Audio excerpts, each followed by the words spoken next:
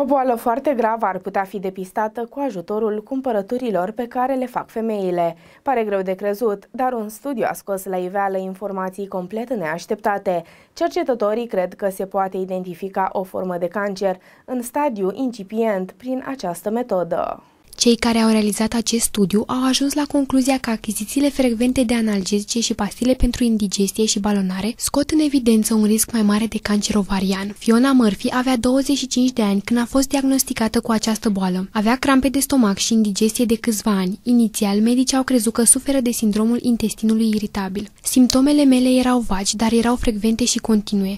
Asta este ceea ce trebuie să cauți, spune ea. În vârstă de 39 de ani, Fiona a ajutat echipa de la Imperial College London la studiul care ar putea ajuta la descoperirea bolii în stadiu incipient. Am vrut să ajut la dezvoltarea acestui studiu pentru că am avut un diagnostic greșit, timp de aproape 2 ani. Dacă există o modalitate de a primi un diagnostic mai devreme, vreau să ajut oamenii care se află în aceeași situație în care eram eu, spune femeia. Este vital să fii diagnosticat în stadii incipiente. Dacă cancerul meu ar fi fost depistat mai devreme, aș fi trecut prin mai puține operații și aș fi avut opțiuni mai bune de fertilitate, a mai precizat Fiona. Simptomele de cancer pe care le căutăm sunt foarte frecvente, dar pentru pentru unele femei ar putea fi primele semne pentru ceva mai grav, spune un doctor, autor principal al studiului finanțat de Cancer Research UK. Folosind datele de pe carduri de cumpărături, studiul nostru a constatat o creștere vizibilă a achizițiilor de medicamente pentru durere și indigestie în rândul femeilor cu cancer ovarian, până la 8 luni înainte de diagnostic, în comparație cu femeile fără cancer ovarian, a adăugat aceasta. Cercetătorii au lucrat cu două mari companii britanice și 283 de cliente care au dat acces medicilor la date privind cumpărăturile lor timp de peste șase ani. Cancerul ovarian este adesea diagnosticat târziu, deoarece nu există un test de screening relevant pentru acesta. Simptomele sunt vagi și pot include stomacul umflat sau balonat, indigestie, dureri pelviene sau abdominale, pierderea poftei de mâncare sau senzația de sațietate rapidă după masă și nevoia de a urina mai des, conform sursei citate. Diagnosticul în stadii incipiente crește șansele de succes ale tratamentului, relatează click.ro.